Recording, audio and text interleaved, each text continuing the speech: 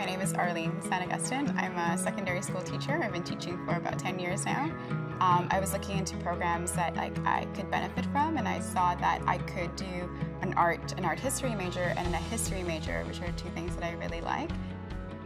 My name is Sue Min, and I am a candidate of the Biomedical Communication Master's Program at University of Toronto. I took Art and Art History program because I was always interested in art.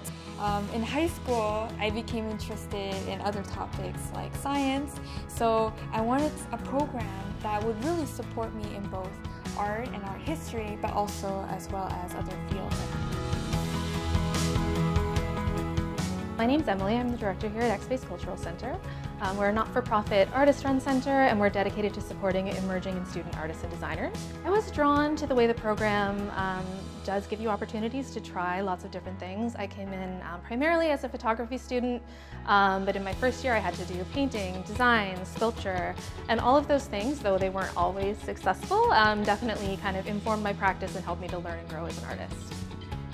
You can learn your theory at U of T with like outstanding professors and then there's the studio portion that gets done at Sheridan College, which is amazing. It really helps to be able to open your mind into different areas and so you're not like looking at different things in different ways. You know, when you're learning how to engage critically with the world around you, that's a skill that you can use, you know, in any job or in your life.